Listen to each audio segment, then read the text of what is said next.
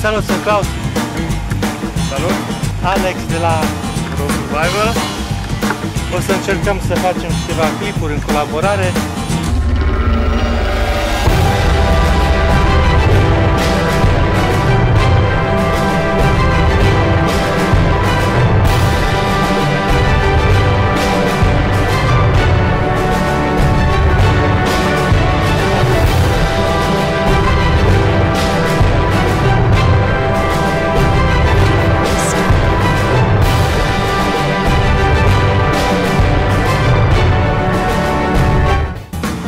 Timp până am ajuns la locul acesta de campare, iată că un adevărat cercetaj deja o bucată de fatut a găsit deja domnul Alex. Și acum recoltăm și o bucată de coajă de mesteacă.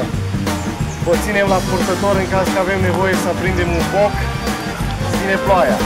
După cum știți sau dacă nu știți, coaja de mesteacăn este unul dintre cele mai bune startere la prins focul, plus că are o mulțime de alte utilizări, dar asta o să vă Medicinal, cu cremene și puiască preparată de Klaus ca să aprind foc.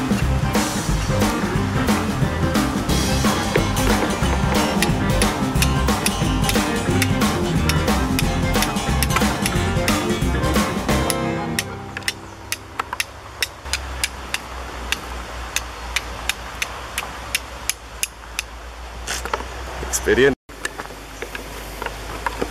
Iască preparată de mine.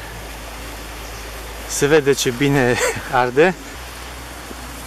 Dacă am fi avut la îndemână acum ceva iarbă uscată, am fi putut aprinde focul foarte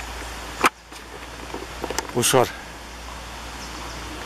Cum vi se pare? Extraordinară. Extraordinar, a prins cu asta focul fără nicio problemă. Încă mai ai fierbinte, Da, deci încă se mai poate aprinde focul cu ea mult și bine. După câteva discuții în contradictoriu, dar constructive, am ajuns la concluzia că trebuie să venim să ne testăm amnare, să facem o comparație între ele. Astea din partea stângă sunt a mele, iar aceste trei, deși sunt doar trei, sunt unde foarte mă duce bune. domnul Alex ca să tai un pom tocmai din vârful munțelui. și să curețe pădurea. E uscat, e mort, numai bun de lemn de foc. Să pregătim o mâncărică. Și că procedem. Vitai verda. După cum v-ați dat seama, suntem la Nădrag și imediat după ce vom uh, termina de tăiat acest copac, o să ne apucăm să facem și ceva mâncare. Așa că țineți aproape și vedeți și mai departe ce se va întâmpla.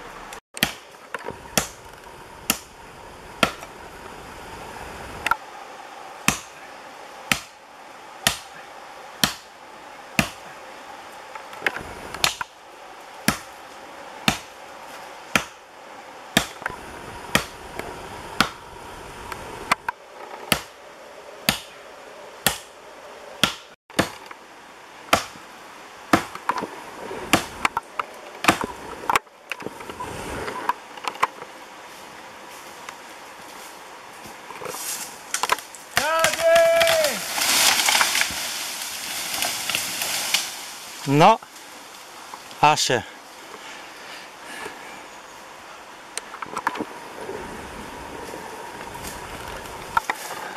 Doborătorul de copaci. Klaus merge în recunoaștere și încearcă să recupereze copacul tăiat adineauri.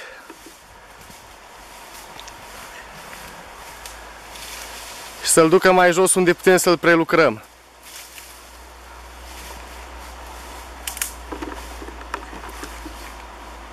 Ideea e că în poziția asta fac apă cală. Îmi tai craca singur de sub picioare.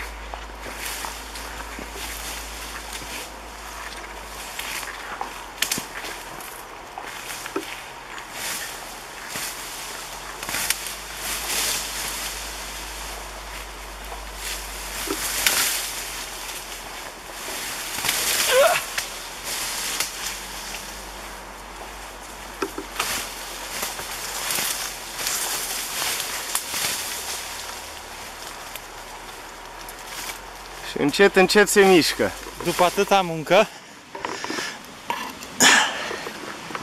ne pregătim și de O masă copioasă. o masă la iarbă verde.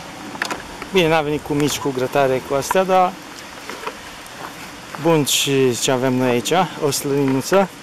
Mai avem una pregătită de aia e specială. Deocamdată îl lăsăm un pic aici până se face jar și noi ne continuăm uh, schimbul de experiență. Dacă nu puteți să auziți cum sfârâie și mirosul care îl degajă. Masă perfect sănătoasă, cu proteine, cu carbohidrați. Mai trebuie o salată, dar o facem și pe aia.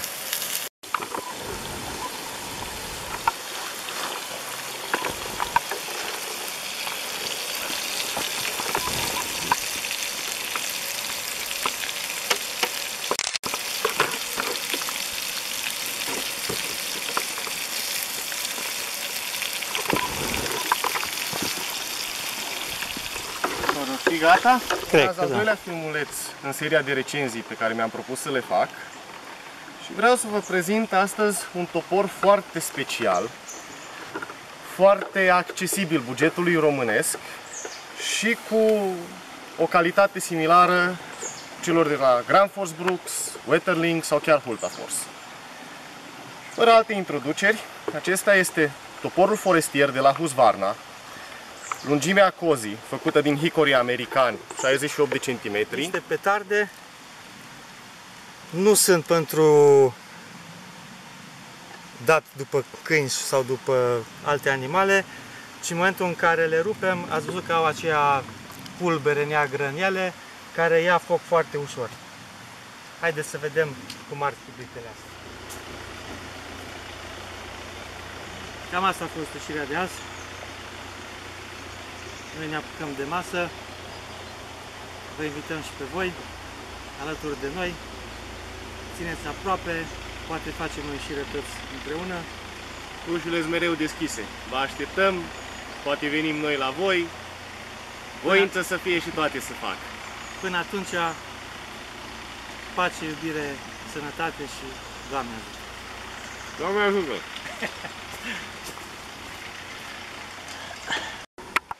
Ultimul atu al toporașului meu. Ca să vedeți și că ține în gură chiar și după muncă extensivă. O să avem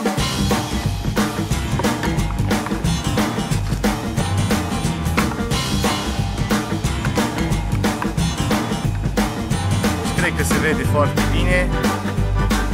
Bărberește fără nicio problemă. Tratamentul termic foarte bun. Rămâne urmă